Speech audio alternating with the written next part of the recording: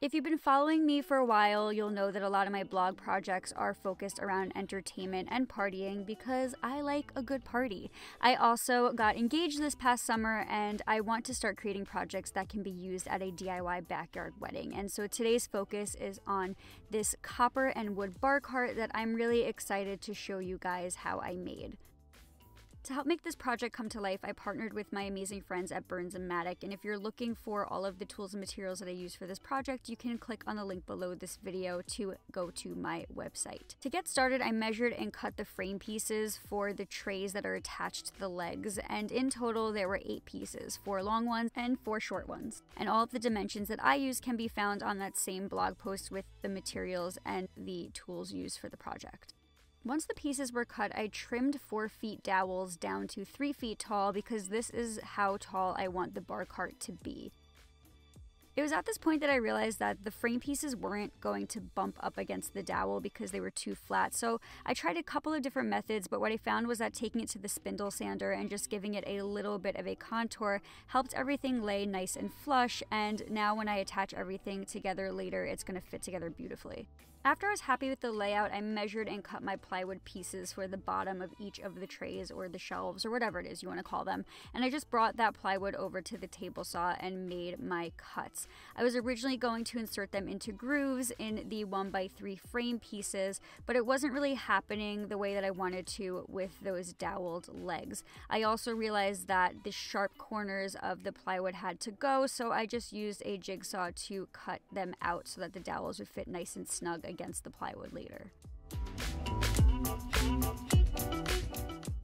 Because I knew I'd have to play around with some bobbing and weaving later with the copper piping, I just opted for pocket hole joinery for this project and it worked really well. And since I have this foreman in my shop, I'm able to drill all the pocket holes rather quickly and this just felt like the best option for this project. One mistake I did run into was drilling two pocket holes into the end of each frame piece. So if you're building this, you can just get away with using one and some wood glue, which I'll show you a little later. Once all the pocket holes were drilled, I focused my energy on creating the trays by gluing and screwing the plywood piece into the 1x3 boards. And I did use a spacer underneath the plywood in order to completely center it in the 1x3. And as you can see, it did cover up one of those pocket holes, which is why I said to just use one instead of two.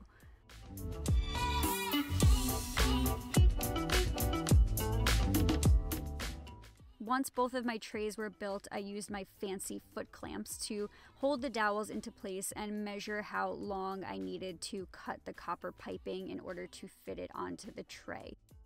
I then took those measurements to the copper piping and just marked everything out and used my cutting tool to cut them down to size. And again, you can find all the measurements that I used for these pipes on my website. I wanted to add a little bit of an element of design to these pipes, so I opted to add copper coupling to the end, but the connection was really loose and CA glue wasn't working out so hot, so I decided to go ahead and try to solder it together for a stronger joint.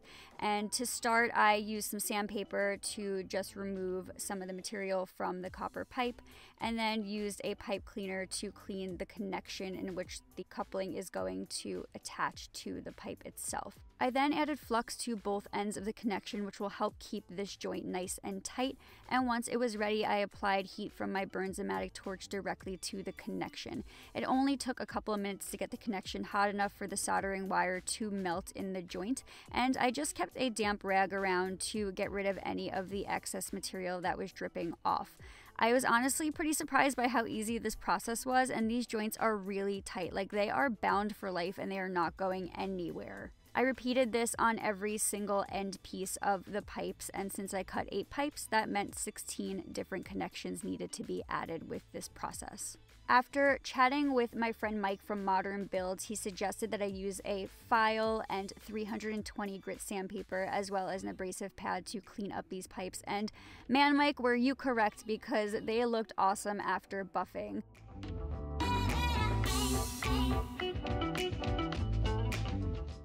And once the copper piping was done, it was time to move on to the legs. And I just marked on the legs where I wanted to connect the frame pieces for the shelves. And I added them to the shelves and used wood glue and pocket hole screws to attach everything firmly into place. One of the things that I had to keep in mind was that I still had to add the copper piping and drill openings for it. So I just started by adding the bottom tray first to help with alignment and worried about the top tray later.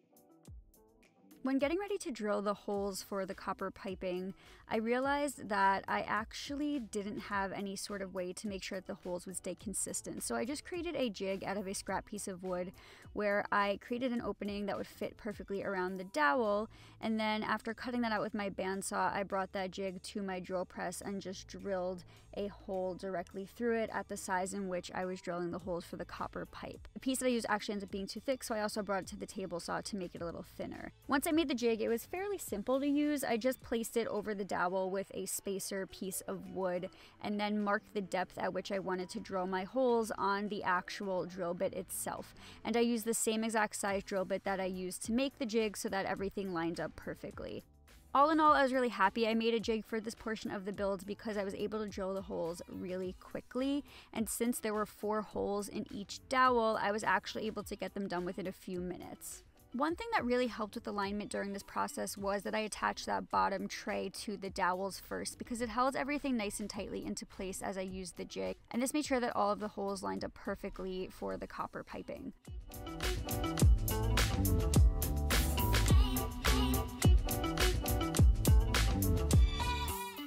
Once all of the openings were drilled, I just used a quick setting epoxy and applied it to the copper piping, which was already buffed out from the sanding process.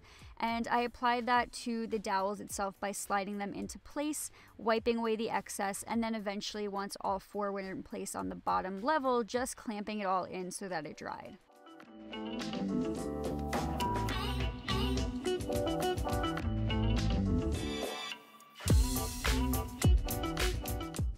I then continued the same exact process up top by attaching the tray to the top portion of the dowels and then attaching the copper pipes the same exact way. There were a few times in which I had to screw and unscrew the tray into place to make room for the dowels to fit, but it all worked out. And once everything was in place, I just sanded everything down by hand. Once everything was sanded, I finished off the piece with a dark walnut Danish oil. While the piece dried, I buffed out some casters and just sprayed them copper to match the piping details on the bar cart. And after they dried, I drilled holes into the underside of the dowels and then attached the casters by tapping them into place with a mallet. And the best part of the project, I then went inside, cracked open my favorite bottle of tequila, and celebrated this really fun project. I really like how sleek and slimline this looks, and the copper piping added such a cool element and a really nice accent to the bar cart, and I really couldn't be happier with the way this build came out. If you enjoyed this video, please make sure to subscribe to my channel for more projects in the future, and also be sure to visit my website for more projects as well. In the meantime, thanks for watching and happy DIYing. Excuse me, I'm trying to shoot a video. Titan, good job. Good boy.